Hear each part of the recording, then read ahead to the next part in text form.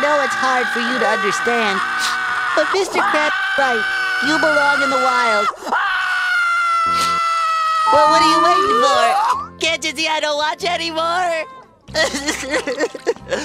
Just get out of here, you stupid, dumb animal! Twelve seconds later. Now this one's on the...